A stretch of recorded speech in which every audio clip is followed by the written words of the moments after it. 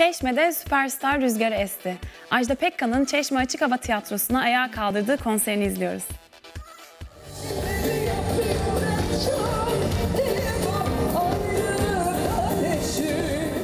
Ajda Pekkan Çeşme'yi salladı. Ve süperstar moda trendlerini nasıl bir ay önceden yakaladı?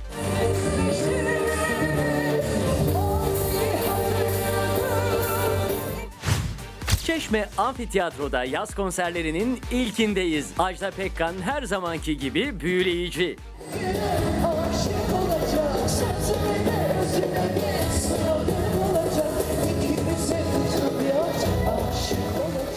Ajda Pekkan hayranları daha süperstarın sahneye çıkmasına saatler varken amfiteyatroyu doldurmaya başladı. Muhteşem sahne şovunu izlemek için ta İsrail'den gelenler bile vardı. Ee, İsrail'de dinleniyor mu artık? Evet çok.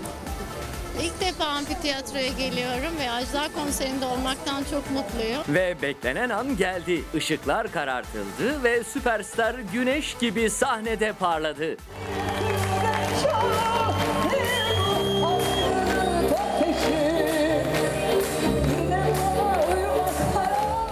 Süperstar yıllardır sahnede olmasına rağmen sanki mikrofonu ilk kez eline alıyormuş gibi coşkulu ve heyecanlıydı. Ama seyirci Ajda Pekkan'dan daha heyecanlıydı. Ee, çok mutluyuz bugün burada olduğumuz için. Bitmek bilmeyen bir güneş gibi kendisi. Çok severek takip ediyorum. Ee, şarap gibi bir kadın.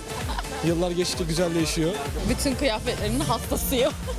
Ajda Pekkan bir efsane. Sahnenin arka kısmında led ışıklarla yazılan adının altında şarkılarını söylemeye başladı Ajda Pekkan.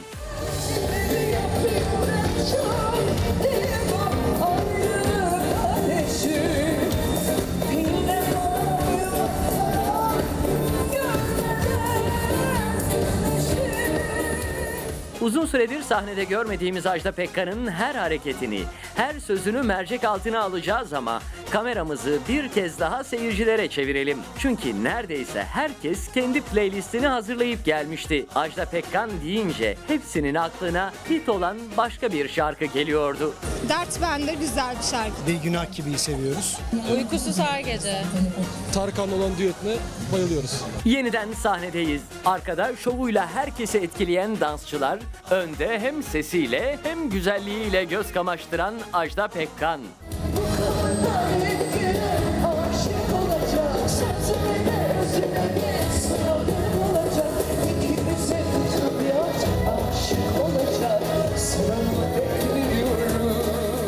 Bronz teninden de anlaşıldığı üzere konserden önce Çeşme'nin tadını az da olsa çıkarmıştı Ajda Pekkan. Bu arada sadece Türkiye'de değil, dünyada da modacılara ve moda tutkunlarına yine tur bindirmişti.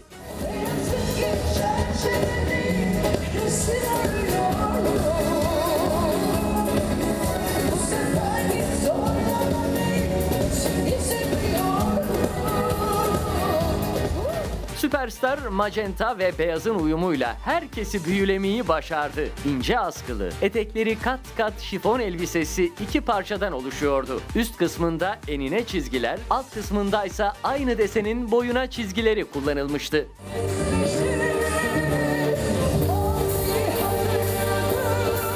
Aynı desen ve kumaştan beline taktığı kemer çok şıktı. Hemen hatırlatalım bu elbise dünyaca ünlü bir moda evinin 2017 kreasyonunda yer alıyor. Yani bir sene sonra vitrinlerde olacak.